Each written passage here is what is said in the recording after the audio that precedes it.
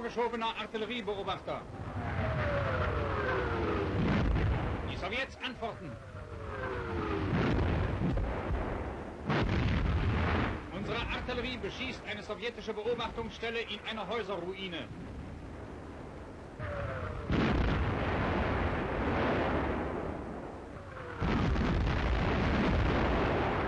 Truppenansammlungen der Sowjets in einem Waldstück sind beobachtet worden. Die zusammengefasste Feuerkraft der deutschen Batterien wird auf diesen Abschnitt gerichtet.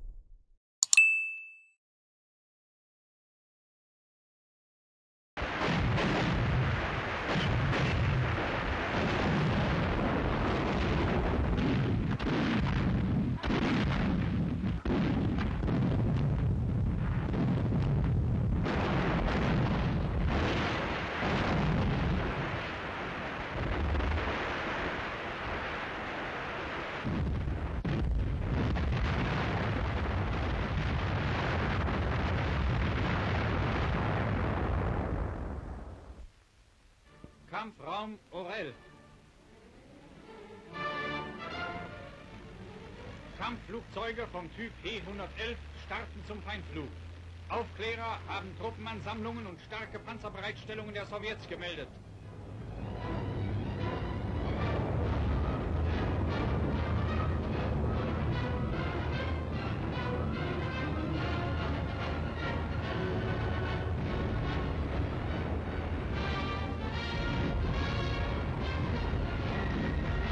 Flakgewolken der feindlichen Abwehr.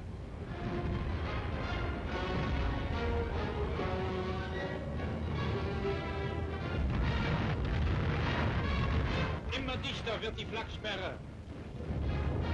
Das Ziel sind die durch große Panzer, Infanterie und Artilleriemassen überfüllten und verstopften Nachschubwege der Sowjets.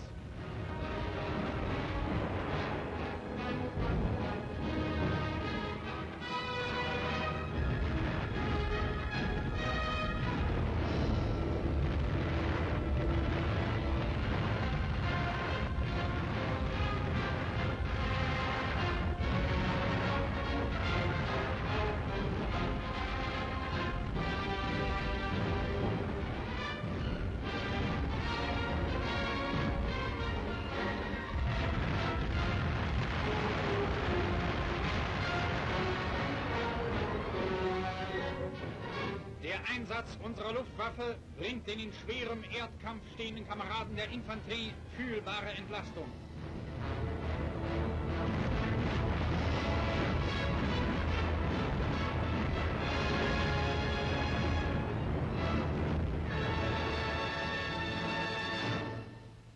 Nachschub für die gewaltige Materialschlacht von Orel. Pausenlos rollen Züge mit Reserven, Waffen und Munition an die Front.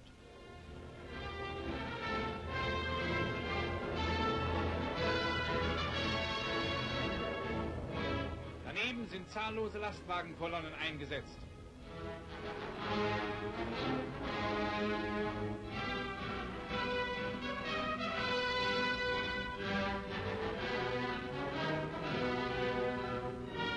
Ein unfreiwilliger Aufenthalt, eine verschlammte Talsenke muss überwunden werden.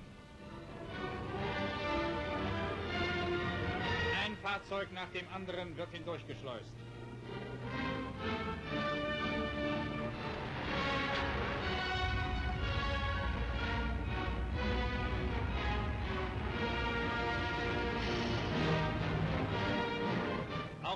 Auch die Ju-52 bewährt sich hier wieder als schnelles Transportmittel. Die Organisation des deutschen Nachschubs ist allen Anforderungen gewachsen.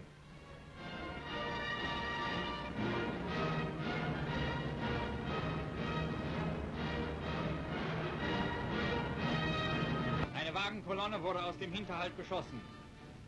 Für die Sicherung der rückwärtigen Verbindungen eingesetzte landeseigene Verbände durchkämmen unter deutscher Führung das unübersichtliche Waldgebiet.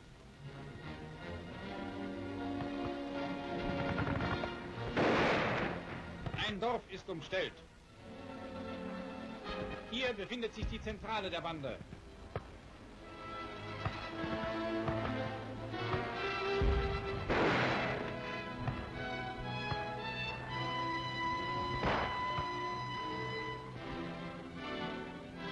Dieser Schlupfwinkel wird rücksichtslos ausgeräuchert. In einem anderen Kampfabschnitt. Ein Verwundeter wird geborgen.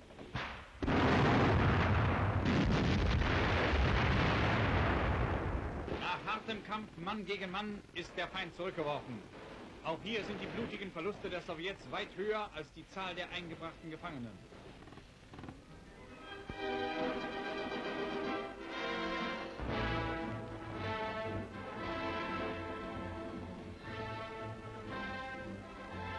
Verhör sofort nach der Gefangennahme.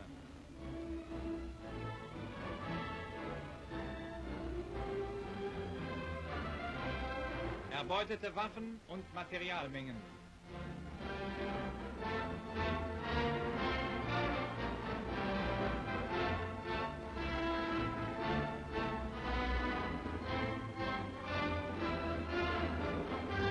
Panzer in Ruhestellung.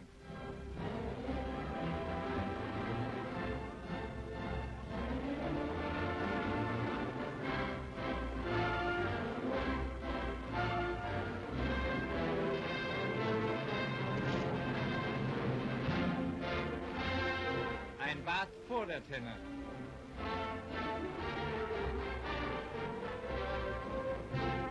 Der Brief an Mutter war lange fällig.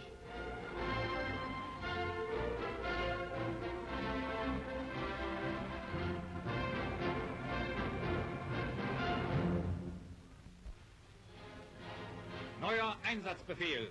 Es gilt, einen feindlichen Einbruch abzuriegeln.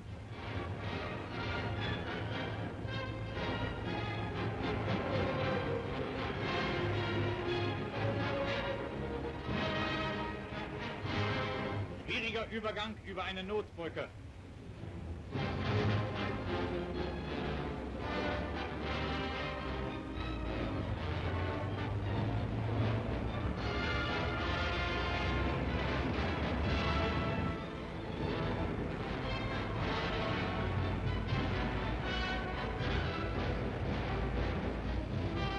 Unsere Tiger haben den Kampfraum erreicht.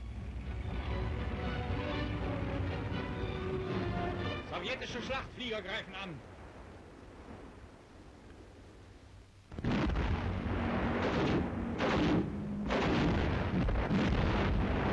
Die feindlichen Bomben fallen fast wirkungslos in die weit auseinandergezogenen deutschen Verbände.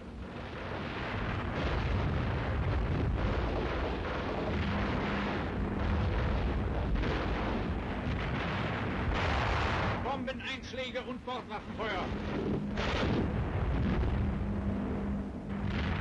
Ein Blindgänger. Sowjetpanzer stoßen vor. Wohlgesiegtes Abwehrfeuer schlägt ihnen entgegen.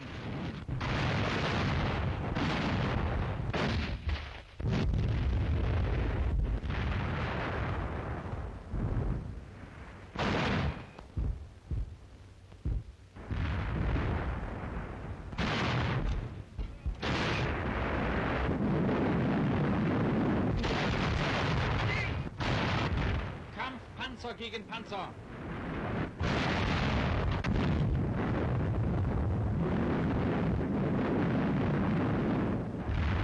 Artillerie unterstützt den Angriff unserer Grenadiere und Panzer durch gut liegendes Wirkungsfeuer.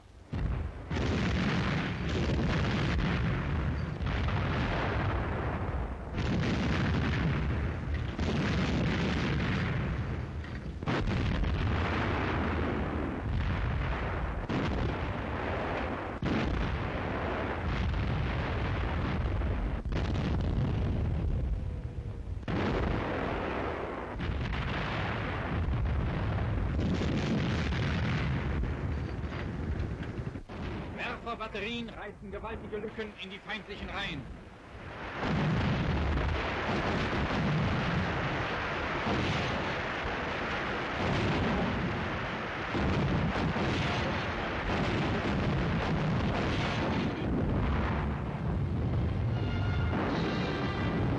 Überall brennende Feindpanzer.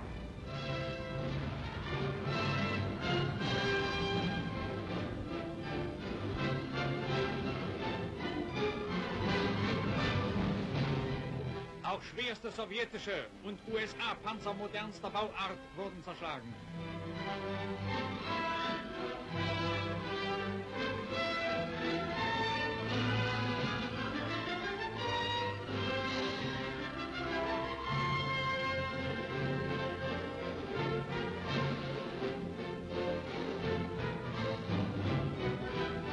Hier zerschmetterten unsere Stuka-Bomben einen sowjetischen Panzerzug.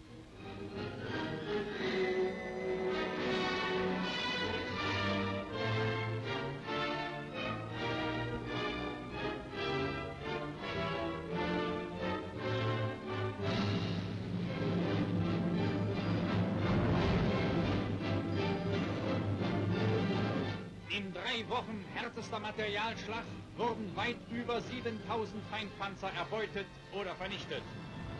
Tag und Nacht hämmern die Bomben unserer Kampfflugzeuge und die Granaten unserer Artillerie- und Werferbatterien auf die Stellungen der Sowjets. Sie fügen dem Feind immer wieder unersetzliche Verluste an Menschen und Material zu.